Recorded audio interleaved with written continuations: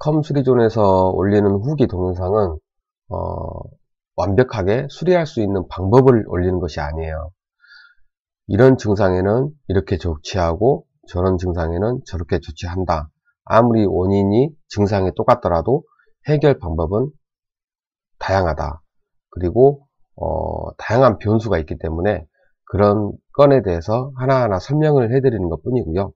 어, 상세하게 어, 초보자가 수리할 수 있는 방법을 올려드린 건 아니에요. 어, 참고만 하시면 좋겠고요. 어, 상황에 따라서는 저희가 이제 개인적인 컴퓨터를 이용해서 어, 시간적 여유가 있을 때 어, 상세하게 설명을 드리면서 올려드리기도 해요. 하지만 후기 동영상은 대부분 음, 어떤 증상에 대해서 이렇게 해결했다 이렇게만 보시면 될 것 같고요. 컴퓨터를 조금 아신다고 하시면 도움이 많이 되실 거예요. 그런데 컴퓨터를 전혀 모르시면 어, 오히려 도움이 안 되실 수도 있어요.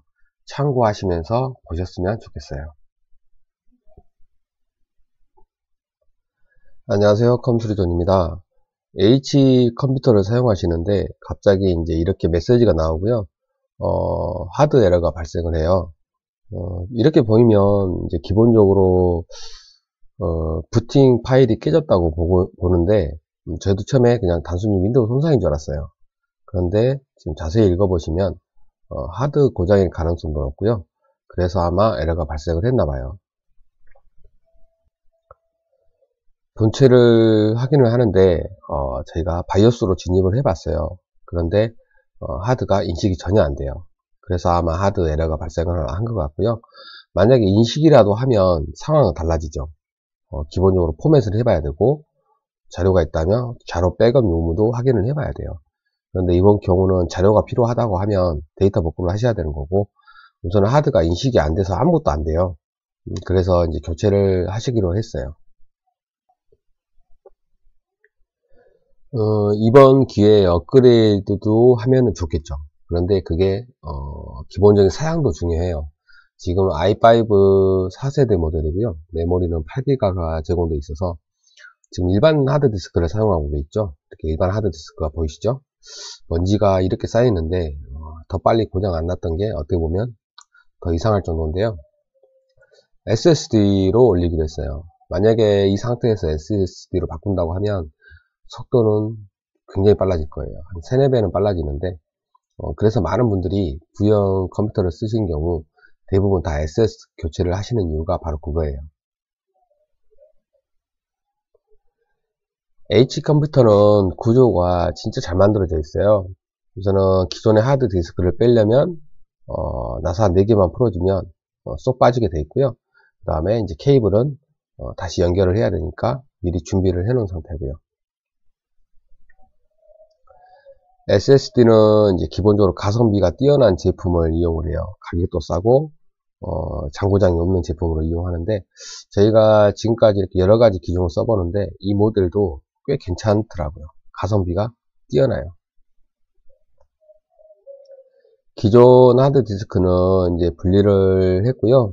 어, 지금 SSD를 장착한 모습인데 어, 지금 사진 찍을 때만 고정이 안 돼 있을 뿐이지 어, 바로 고정은 다 해드렸어요. 그리고 이왕 뜯었으니까 청소도 해드리면 좋겠죠. 많은 분들이 SSD를 교체할 때는 어, 교체로 끝난 줄 알아요. 그런데 그게 아니에요. SSD를 교체를 했더라도 윈도우 설치는 다시 해야지 정상적으로 사용을 할 수가 있고요. 어, 바로 이제 이 사양에 맞게 윈도우 10으로 설치를 하고 있는데 굉장히 빨라요. 기존하고는 완전 틀리겠죠. 간단한 설정만 마무리하면 이제 바탕 화면이 나오는데요. 어, 윈도우 10은 장점이 많아요. 많은 분들이 그 오류가 많다, 뭐 충돌이 많다, 불안정하다고 하는데 요즘에는 오히려 윈도우 7보다 더 빠르고요. 안정성도 뛰어나요. 오히려 훨씬 더 좋아요. 그런데 예전 기억만 가지고 어, 지금 얼마나 이게 좋아졌는지는 모르시더라고요. 윈도우가 설치되자마자 이제 각종 드라이버를 설치를 하고 있고요. 어, 대부분 다 자동으로 잡을 수가 있어요. 업데이트를 통해서. 그런데 사운드 드라이버, 디스플레이, 그 다음에 여기 보면 이제 무선 랜카드가 안 잡혀 있죠. 블루투스. 어, 무선 블루투스구나. 블루투스가 안 잡혀 있는데 저 부분은 업데이트로도 설치가 됐고요. 어, 그래픽 드라이버도 뭐 한 번쯤 재부팅하면 설치가 돼요. 추후에.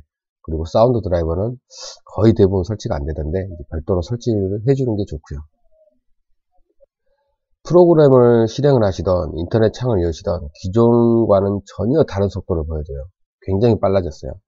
그래서 아마 많은 분들이 이 부분에 대해서 만족을 하시는 것 같은데 어, 저희가 권장하기 전에 미리 먼저 말씀하시는 분들이 요즘엔 더 많아요. 이왕이면 SSD로 바꿔달라 이런 분들이 많아가지고 저희도 항상 소지를 하고 돌아다니는데요.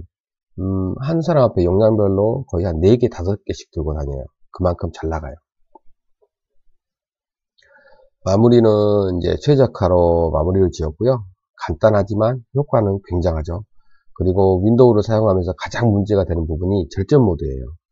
이 부분에 대해서는 하드, 하드웨어 고장은 아닌 것 같은데 어, 그렇다고 윈도우 문제도 아닌 것 같아요. 그냥 단순히 어, 떤 특정 기능에 대해서 문제가 발생을 하는 것 같은데 아직도 완벽한 해결 방법은 없어요.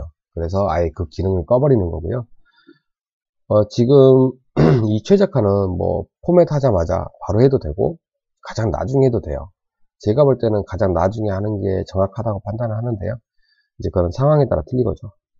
오늘 하드 에러는 이제 하드 디스크 고장으로 인해 발생을 했고 더군다나 이제 사양에 비해서 이제 어차피 하드 디스크는 조금 어, 추세에 안 맞는 거고요. 그리고 이왕이면 업그레이드로 속도까지 빨리 해주면 좋겠죠. 어쩌면 이게 다행일 수도 있어요. SSD를 접할 수 있는 좋은 기회가 될 수도 있으니까요. 현장에서 바로 조치를 해드렸어요.